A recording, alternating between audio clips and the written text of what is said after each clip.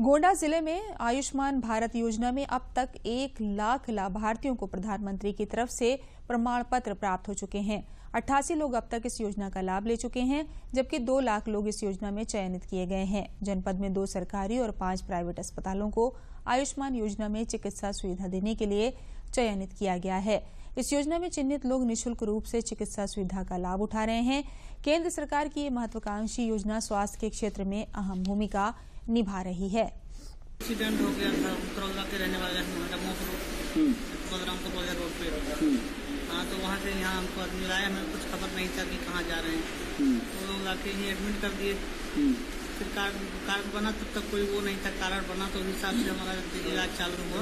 Operation भी हुआ पैर का चार पाँच दिन हो भी गया मुझे चार दिन हाँ मुझको ऐसा नहीं की सुविधा ना हर सुविधा इन्होंने दी हमको कार्ड बनवाने के लिए आयुष्मान योजना जो चली है इसी के लिए कार्ड बनवाने के लिए आए हैं अभी दवाखाने।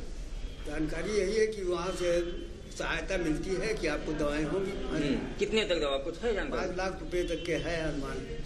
कार्ड बनवाने के लिए आए हैं। जो पाँच लाख रुपया प्रधानमंत्री योजना से स्वीकृत हुआ है उसी के कार्ड बनवाने के लिए आए हैं। लाभ ये है कि हमारे पाँच लाख है? जैसे जितने परिवार है उनके लिए दवा मिल सकता है।